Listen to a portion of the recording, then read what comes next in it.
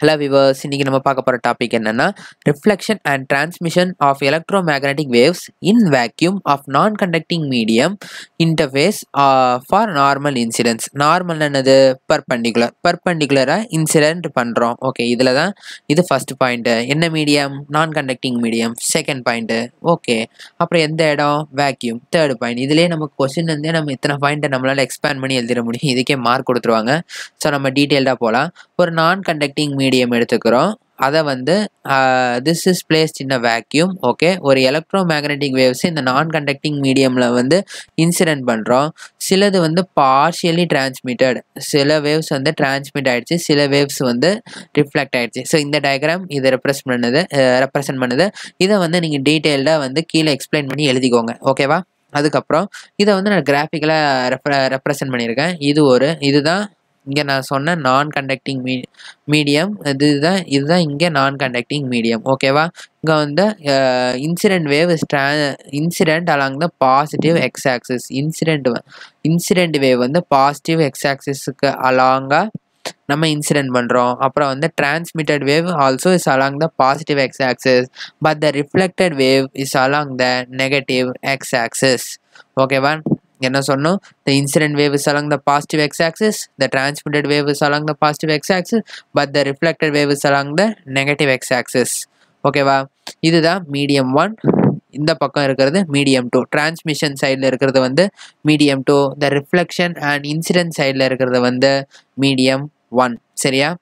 இப்போ நான் வந்து எக்ஸ்பிளைன் பண்ணல இதுதான் வந்து இங்கே இருக்கும். சரியா? த யூனிஃபார்ம் ஒருக்கா படிச்சிடுறேன். Uniform electro magnetic waves propagative along positive x direction in a vacuum of medium mu naught epsilon naught வேக்யூம்னா mu naught epsilon naught தான். ஓகேவா இன்சிடென்ட் நார்மலி ஆன சர்ஃபேஸ் நான் சொன்ன மாதிரி கொஸ்டினில் நார்மலின்னு இருந்ததா? ஸோ நம்ம நார்மலாக தான் இன்சிடென்ட் பண்ணியிருக்கோம். நார்மல்னா பர்பண்டிகுலர் பர்பண்டிகுலராக இன்சிடென்ட் பண்ணியிருக்குமா? ரைட் இப்போ பண்ணிக்கலாம்னா நம்ம இன்சிடென்ட் பண்ணதுக்கும் அந்த சர்ஃபேஸுக்கும் நைன்டி டிகிரி இருக்கும். Okay that is wave is incident and reflection takes place in one medium the நான் சொன்ன மாதிரி இன்சிடென்ட்டோ ரிஃப்ளெக்ஷனோ மீடியம் ஒன்னில் நடக்குது. அந்த டிரான்ஸ்மிஷன் டேக்ஸ் பிளேஸ் இந்த மீடியம் டூ டிரான்ஸ்மிஷன் வந்து மீடியம் டூவில் டேக்ஸ் பிளேஸ் நடக்குது. த வேவ் ப்ரொப்பகேட்ஸ் அதே மாதிரி நான் சொன்ன மாதிரி இந்த wave propagates that is transmitted along the positive x direction reflection வந்து நெகட்டிவ் எக்ஸ் டேரக்ஷன் ஓகேவா அப்புறம் இன்சிடென்ட்டும் பாசிட்டிவ் எக்ஸ் டேரக்ஷன் தான். Okay now consider electric field இந்த பாயிண்ட் நோட் பண்ணிக்கங்க. Now consider and electric field E vector on the incident wave which is plane polarized in y direction and has an amplitude E naught at the surface இங்கே என்ன சொல்லியிருக்காங்கன்னா அந்த நம்ம incident பே பண்ணுற வேவுக்கு வந்து ஒரு எலக்ட்ரிக் ஃபீல்டு இருக்குது அந்த ஃபீல்டு வந்து plane polarized along y direction அந்த எலக்ட்ரிக் ஃபீல்டுக்கு இ நாட்ன்ற ஆம்ப்ளிடியூட் இருக்குது அப்படின்னு சொல்கிறாங்க சரியா? ஓகே இப்போ வந்து ஈக்குவேஷன் பாருங்க. இருக்கிறதுலே இந்த கொஸ்டின் ரொம்ப சிம்பிள் ஈக்குவேஷன் தான் நான் சொல்லுவேன். எப்படின்னா நீங்களே உங்களுக்கே தெரியும். The incident electric field waves அந்த magnetic field waves is given by E i Aina i for incident okay k ஒன்னா இங்கே இருக்கிற ஒன்னுக்கு வந்து மீடியம் ஒன்னு அர்த்தம். நம்ம இந்த ஃபார்மில் வந்து நமக்கு சிமிலியர் தான். ஃபஸ்ட் சாப்டர்லேருந்தே வந்துட்டு இருக்கு A equal to A naught sine of omega t minus k எக்ஸ்னு வருது. இங்கே நம்ம வந்து cos omega t minus k one x அந்த மாதிரி யூஸ் பண்ணுறோம் so E i equal to E naught i cos of omega t minus k one x இங்கே ஒன்னா மீடியம் ஒன்னு அர்த்தம். ஏன்னா இன்சிடென்ட் வந்து எங்கே நடக்குது? மீடியம் ஒன்ல நடக்குது. ஓகேவா நெக்ஸ்ட் வந்து magnetic field incident electric field and magnetic flux தானே கேட்டிருக்கோம். இப்போ நம்ம மேக்னெட்டிக் ஃபீல்டு பார்த்துக்கலாம். Okay magnetic field B i equal to E naught i இங்கே ஒரு டிவைடட் பை சி போட்டுக்கிட்டா அவ்வளோதான் மற்றபடி இந்த ரெண்டுத்துக்கும் எந்த வித்தியாசமே கிடையாது. Cos of omega t minus k one x okay good next வந்து reflected electric field and electric field waves and magnetic field waves reflection எங்கே நடக்குது? மீடியம் ஒன்ல தான் நடக்குது. ஸோ இங்கேயும் வந்து ஒன்று தான் வரும். இங்கே வந்து ஐ இருக்கிற இடத்துல நம்ம இங்கே ஆர் போட்டிருக்கோம். R for reflection okay E r equal to E naught r cos of omega t minus k one x இப்போ B r equal to E naught இது e இ நாட் தான். E naught r by c cos of omega t minus k one x அங்கே மாதிரி இங்கேயும் divide by C போட்டிருக்கோம். இப்போ வந்து transmitted electric field and magnetic field waves transmission எங்கே நடக்குது? மீடியம் டூவில் இருக்குது ஸோ இந்த இடத்துல கே டூ போட்டிருப்போம். ஓகேவா இன்னொன்று நான் சொல்ல மறந்துட்டேன். இங்கே வந்து நம்ம நெகட்டிவ் சிம்பிள் யூஸ் பண்ணியிருக்கோம். ஓகேவா இங்கே வந்து எப்படி பாசிட்டிவ் சிம்பிள் வரும்னா நம்ம ஆக்சுவலாக நமக்கு ஃபார்முலா வந்து இங்கே நார்மலாக நெகட்டிவ் தான் வரும். ஓகேவா நமக்கு ஃபார்முலா என்னது? நம்ம ஃபார்முலா வந்து நெகட்டிவில் தான் இருக்கும். இங்கே என்ன நடக்குதுன்னா இங்கே வந்து ரிஃப்ளெக்ட் ஆகுதுல்ல இங்கே வந்து பாசிட்டிவாக போயிட்டு இருக்கும் போது ரிஃப்ளெக்ட் ஆகுதுல்ல ரிஃப்ளெக்ட் ஆகும்போது நெகட்டிவ் ஆகிடும் அப்போ நெகட்டிவ் ஆகும்போது என்ன ஆகும்னா நெகட்டிவ் நெகட்டிவ் பாசிட்டிவ் ஆகிடும் ஸோ ரிஃப்ளெக்ஷனில் மட்டும் பாசிட்டிவ் உங்களுக்கு புரியுதா? இங்கே வந்து ஃபார்முலாவில் வந்து நெகட்டிவ் இருக்குது ரிஃப்ளெக்ஷன் நடக்கும்போது இன்னொரு நெகட்டிவ் வருது. ஸோ அந்த நெகட்டிவ் நெகட்டிவ் பாசிட்டிவ் ஆகிடுது சரியா?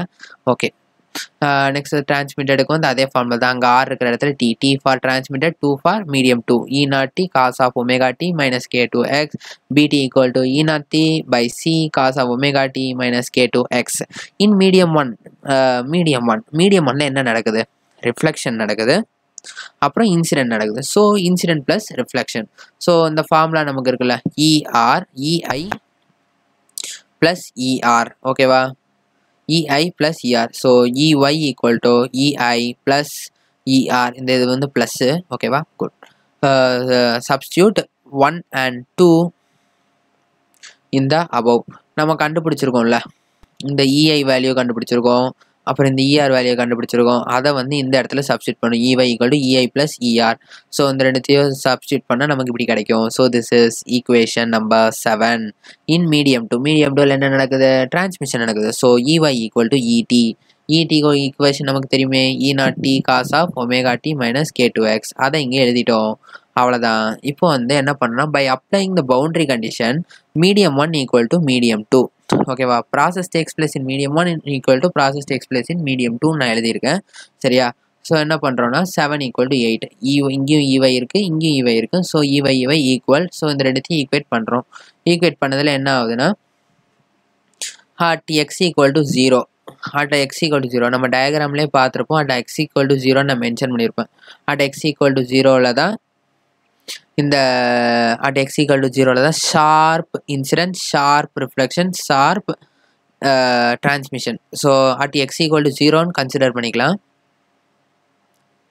அட் எக்ஸ் ஈக்குவல் டு ஜீரோன்னு கன்சிடர் பண்ணும்போது இந்த கே ஒன் எக்ஸ் வந்து ஜீரோ ஆகிடும் இங்கே இருக்கிற கே ஒன் எக்ஸ் ஜீரோ ஆகிடும் இங்கே இருக்கிற கே டூ எக்ஸும் ஜீரோ ஆகிடும் so E i cos omega t plus E naught r cos omega t E naught t cos omega t so இது கேன்சல் ஆகிடும் இது கேன்சல் ஆகிடும் இது கேன்சல் ஆகிடும் so we will get the number equation ten இதை வந்து equation டென்னு வச்சுக்கலாம். ஸோ நெக்ஸ்ட்டு வந்து நெக்ஸ்ட் ஸ்டெப் வந்து டிஃப்ரென்ஷியல் பண்ணும். இந்த ஃபஸ்ட்டு என்ன பண்ணோன்னா இந்த E i E r equation பண்ணும் ஈக்குவேட் பண்ணும்ல. அதே மாதிரி இங்கே என்ன பண்ணுறோன்னா இந்த இஐ இஆர் இடி இதெல்லாம் வந்து டிஃப்ரென்ஷியேட் பண்ணுறோம் ஸோ எந்தெந்த வேல்யூனா இந்த value E i okay E i next வந்து இஆர் நெக்ஸ்ட்டு வந்து E, இடி சரியா? இந்த மூணுத்தையும் நம்ம வந்து டிஃப்ரென்ஷியேட் பண்ணுறோம் இந்த டிஃப்ரென்ஷியேட் பண்ணுறது வந்து ரொம்ப ஈஸி இங்கே வந்து இதை வந்து நாட் கிடையாது. நான் ஷேட் பண்ணி வச்சுருக்கேன்.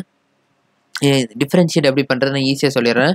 நான் ஒன்றுக்கு மட்டும் சொல்லிடுறேன். அப்புறம் அது உங்களுக்கே தெரியும். E naught i cos of omega t minus k one x okay first வந்து இந்த கே ஒன் எக்ஸை வந்து கான்ஸ்டண்ட்டாக வந்து நம்ம டிஃப்ரென்ஷியேட் பண்ணுறோம் இதை டிஃப்ரென்ஷியேட் பண்ணும்போது இந்த நெகட்டிவ் வந்து அப்படியே இருக்கும். கே ஒன் வந்து வெளியே வந்துடும் கான்ஸ்டன்ட்டு எக்ஸை டிஃப்ரென்ஷியேட் பண்ண நாங்கள் ஒன் வரும். So minus of k one minus of k minus of k one அப்புறம் ச cos of omega t minus k one எக்ஸை வந்து டிஃப்ரென்ஷியேட் பண்ணணும். என்ன நடக்குன்னா காசு வந்து சைனாக மாறும். சைனாக மாறும்போது ஒரு நெகட்டிவ் வரும். ஸோ இப்போ உங்களுக்கு புரியும்னு நினைக்கிறேன். இப்போ பாருங்கள் டிஃப்ரென்ஷியேட் பண்ணுமா?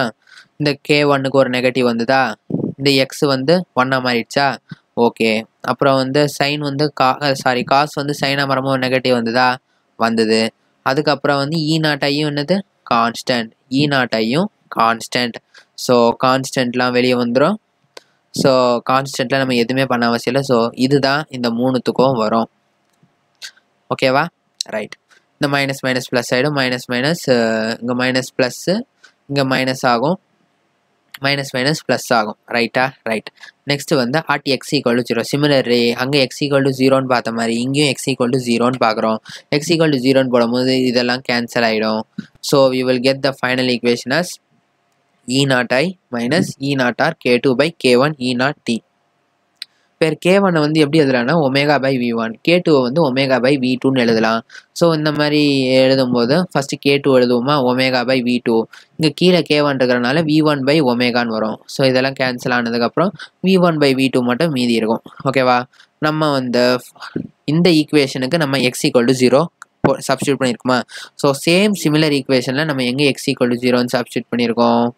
அப்படின்னு பார்க்கும்போது அப்படின்னு பார்க்கும்போது இந்த நம்ம இங்கே எக்ஸ் ஈக்குவல் ஜீரோன்னு சப்ஸ்டியூட் பண்ணியிருக்குமா?